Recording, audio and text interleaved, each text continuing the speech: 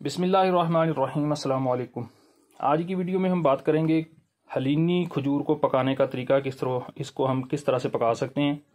क्योंकि ये late variety है तो जब तक इसका पकने का टाइम आता है तो हमारा जो टम्परेचर है, वो काफ़ी डाउन हो चुका होता है।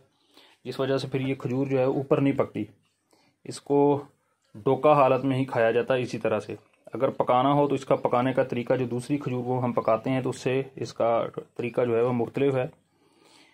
तो आज की वीडियो में हम उसी पे बात करेंगे कि इसको हमने किस तरह से पकाना है, किस तरह से हमने इसको खुश्क करना है, तैयार करना है कि हम इसको ज़्यादा देर तक इस्तेमाल कर सकें, महफूज कर सकें।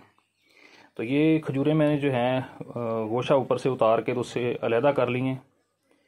साफ़ साफ़ खजूरें जो हैं वो ले लेनी है। अगर कोई खजूर ख़राब है, कोई डैमेज है, कोई गली सड़ी है तो उसको निकाल लेना है। निकालने के बाद इसके ऊपर काफ़ी ज़्यादा डस्ट थी तो मैंने इनको एक दफ़ा धो लिया है। धोने के बाद फ़ौर इनको खुश्क कर लिया है। धूप में थोड़ी देर फैला के तो फ़ैन चला दिया और कपड़े से इनको साफ़ कर लिया, ताकि जो पानी है ऊपर वो ख़त्म हो जाए जल्दी जिस वजह से खजूर ख़राब ना हो। तो अब आगे हमने इसको क्या करना है कि अब ऐसे हम इसको अगर खुश्क करेंगे तो ये खुश्क नहीं होगी, ना ये पकेगी, ये ख़राब हो जाएगी, पिचकती जाएगी और ख़राब हो जाएगी। तो इसका जो पकाने का तरीका है कि इसको हमने काटना है खजूर को। ये जो खजूर है, हलीनी वैरायटी है, दोबारा मैं बता दूँ, क्योंकि बहुत से दोस्त ऐसे हैं कि वो बार बार बार बार जो चीज़ बताई जाती है, नाम बताया जाता है, लेकिन इसके बावजूद फिर वो कमेंट्स में पूछ रहे होते हैं कि इसका नाम क्या है। तो ये हलीनी वैरायटी है लेट वैरायटी है, डोका हालत में इसको खाया जाता है। इसी तरह से, इस तरह से अगर हम इसको खाएँगे तो ये मीठी है, मज़ेदार लगती है, खाई जाती है इसी तरह से। लेकिन अगर इसको पकाना हो तो इसका तरीका ये है कि इस खजूर को हमने काट लेना है, काट के इसको हमने चार हिस्सों में डिवाइड कर लेना है। इस तरह से काटेंगे। इसकी जो गुठली है, वो हम निकाल देंगे। इस तरह से। इसको मज़ीद फिर ये, इस तरह से।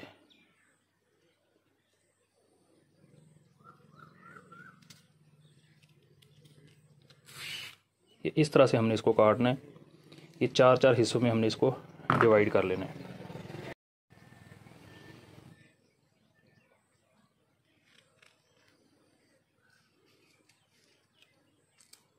इस तरह से काटी, गुठली को अंदर से निकाल लिया। निकालने के बाद इसको मज़ीद फिर ये दो दो हिस्सों में इस तरह से डिवाइड करते जाना है।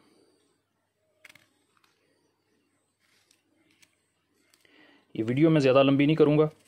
बिल्कुल मुख्तसर सी वीडियो होगी ये क्योंकि अगर तफसील से बात करें तो फिर वीडियो थोड़ी सी लंबी हो जाती है तो फिर देखने वाले एतराज़ करते हैं जी। वीडियो बहुत ज़्यादा आप लंबी कर देते हैं तो वीडियो को शार्ट रखें मुख्तसर सा करें।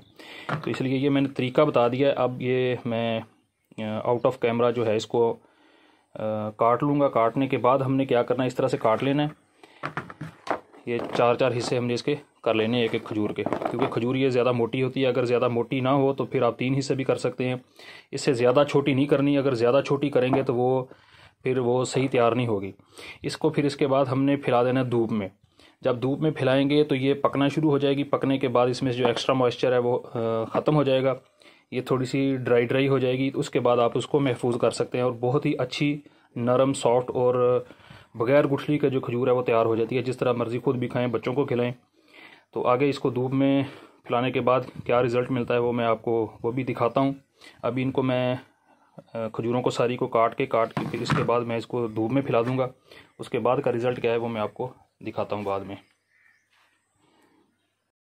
जी वेलकम बैक ये जी, खजूर जो हमने काट के धूप में फैलाई थी तो इसको आज चार दिन हो गए हैं।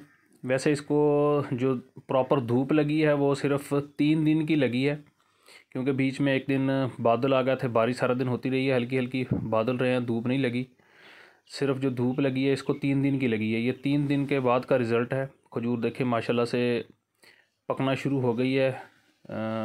ऐसा ऐसा ये पहले पकेगी, सारी सॉफ्ट होगी और उसके बाद फिर जब धूप मज़ीद लगेगी तो एक्स्ट्रा मॉइस्चर जो है इसका वो ख़त्म हो जाएगा और ये थोड़ी सी जो है वो खुश्क हो जाएगी ड्राई हो जाएगी।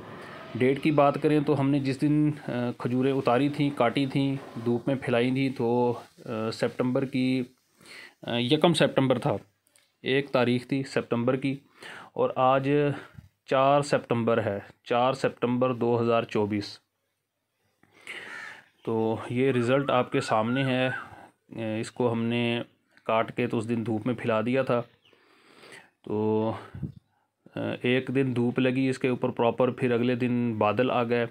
बारिश रही है, बारिश का मौसम और उसके फिर अगले दिन फिर उसको धूप में फैलाया तो इन ये तीन चार दिन और धूप लगेगी तो खजूर जो है माशाल्लाह से बेहतरीन किस्म की खजूर जो है वो तैयार हो जाएगी। और इसको आप इस्तेमाल कर सकते हैं फिर हर तरह से अपने खाने के लिए या अपने खानों में जिस तरह स्वीट डिश बनती है तो उसके अंदर अगर डालना चाहे तो वहाँ पे भी डाल सकते हैं बग़ैर गुठली के खजूर। और बहुत ही अच्छी क्वालिटी की खजूर जो है वो तैयार हो जाएगी। खाने भी मज़ेदार होगी, मीठी और इस्तेमाल करना भी आसान, महफूज करना भी आसान। इसको आप लंबे अरसे तक के लिए इसको महफूज भी कर सकते हैं। ये जी सात दिन के बाद का रिज़ल्ट है। खजूर हमारी माशाल्लाह से पक कर तैयार हो चुकी है, ड्राई भी हो चुकी है। ड्राई थोड़ी सी ज़्यादा हो गई है। एक दो दिन की जो इसके ऊपर धूप जो है वो ज़्यादा लग गई है, क्योंकि लास्ट जो दो तीन दिन धूप निकली है वो बहुत तेज़ थी। टम्परेचर तकरीबन फोर्टी को टच कर रहा था।